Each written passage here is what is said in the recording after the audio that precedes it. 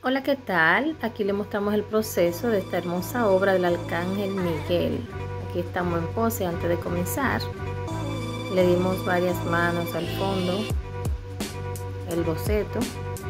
Estamos posando con las primeras manchadas.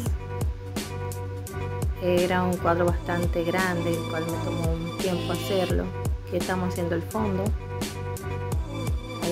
decidido qué paisaje le vamos a poner. Mira qué alto era, más alto que una puerta. Aquí está el fondo terminado.